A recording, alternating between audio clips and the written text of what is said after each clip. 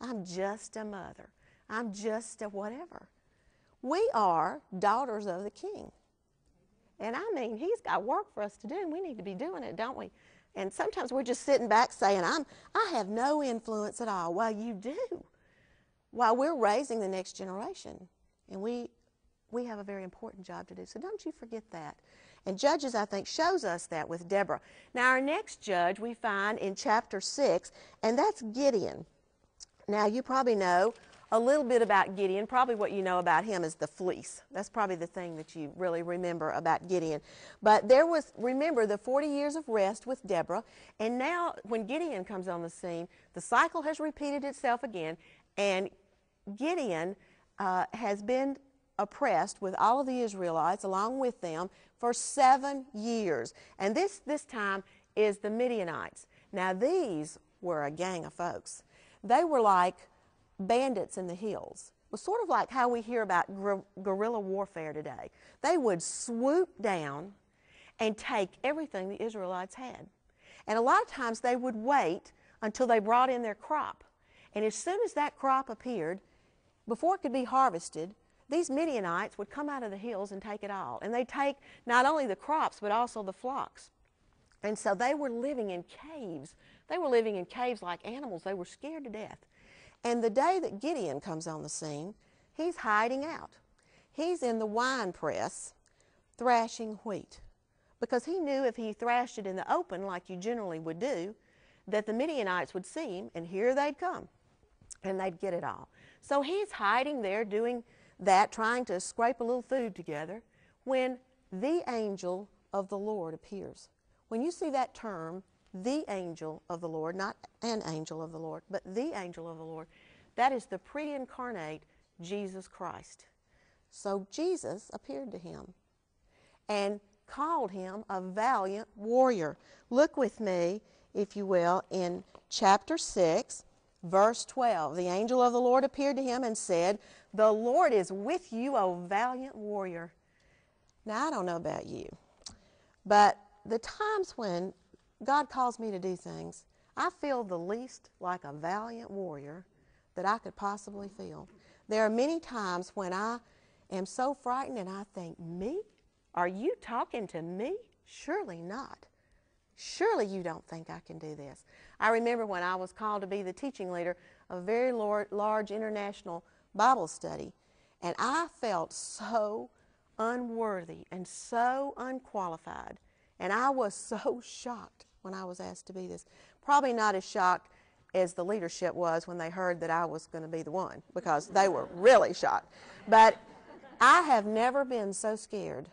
And I had a problem like a lot of women have. I would get real emotional. And I still can whip myself up into a really good cry with very little trouble. But I was concerned about that, and God took that away miraculously. Now, that doesn't mean that I still can't come up with a real good cry every now and then, but I don't cry all the time like I did then. And I'm very grateful for that because I had prayed and asked Him for years to remove that, and He did. And I'm so thankful. You know, He knows who we are, but He also knows what we can become, and that's with His power. So He's not really looking for our ability, He's looking for our availability in order that He might fill us and use us powerfully. Now, Gideon brought out his list of excuses he said, Well, I'm the least in my tribe, and I'm the youngest. And he just went on and on like, like he was telling God something he didn't know. And he was saying, If you find this out, it'll probably disqualify me. Don't we do that? How many lists do you drag out to show God when He asks you to do something? You say, Well, I'm too young. I don't say that. I'm too old.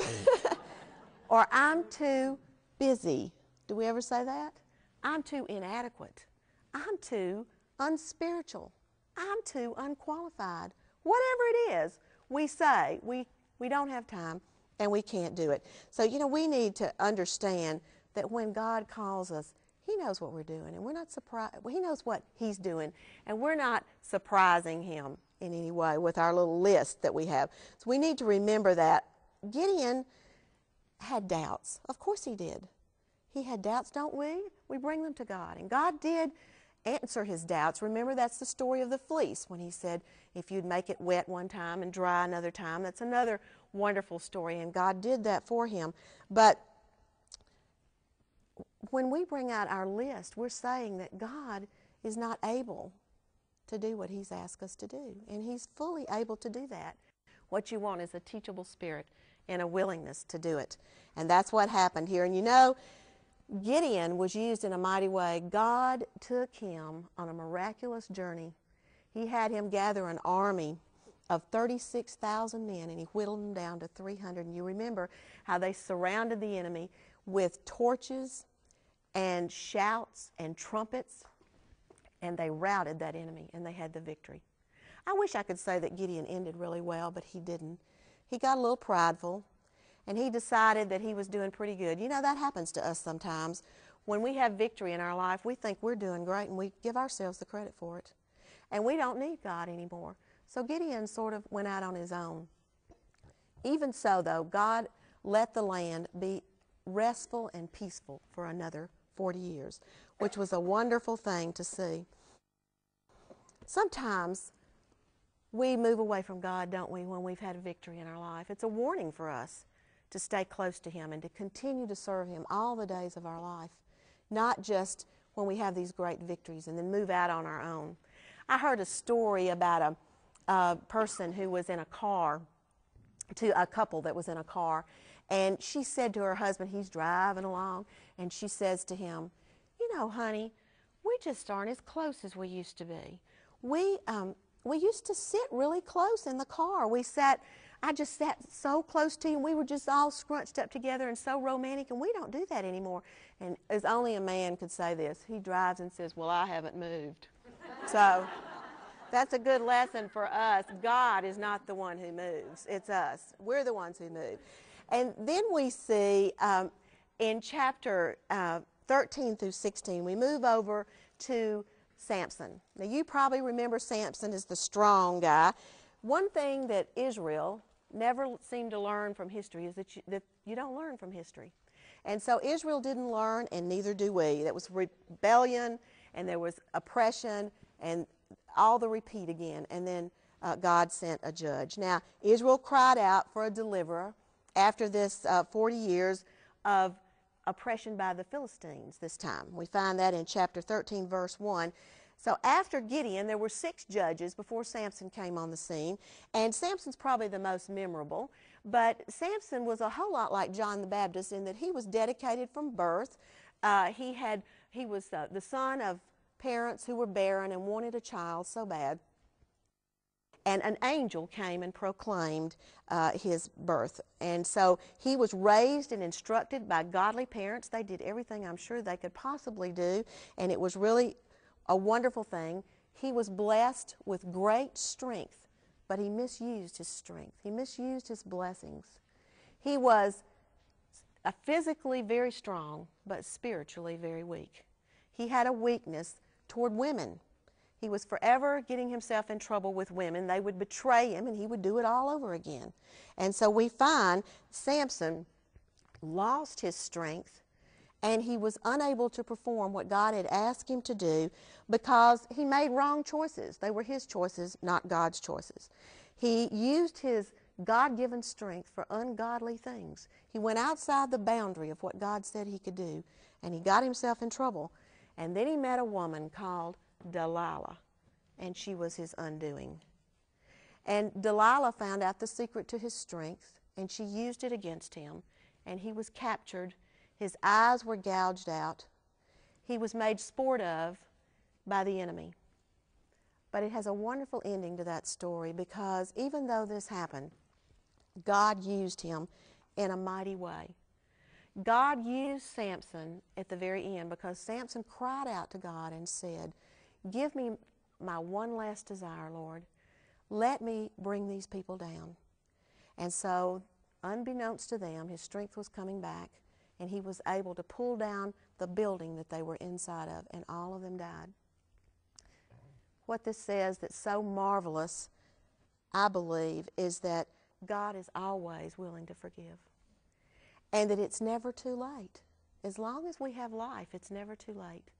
and we can cry out. You may be thinking today, oh, God will never forgive me for the things that I've done. I've just done so much you don't have a, clue. But the truth is, He will. He always is listening for our cry. And so when we cry out to Him, He is a forgiving God. There's no end to His forgiveness. If you have failed Him in some way, you need to admit it and then get up and get busy because He may have someone for you to encourage with your failure and possibly even your own children. We need to admit this to our own children sometimes. You know, we need to just ask Him. There's stumbling blocks in our life like Samson had. We need to be aware of that and stay away from it. And then the third division that we're looking at today is the consequences of failure, and that's in chapter 17 through 21. This is a hard read, ladies. It really is. This is a, a sad time. This is when there was no king in Israel, and every man did what was right in his own eyes. Wicked behavior shows the depravity of mankind without God. But it's about people who decided to take matters in their own hands and do what was right in their own eyes. Now, it sounds a little familiar, doesn't it? A lot like picking up today's newspaper or looking at the television. Now, I want to close with a principle that is so true because we have such a responsibility as women, and that is that godliness of the previous generation does not guarantee godliness of the present one. So we, as wives and mothers with a great deal of influence, need to get busy doing whatever we need to do to see that we don't forget who God is and what He's done.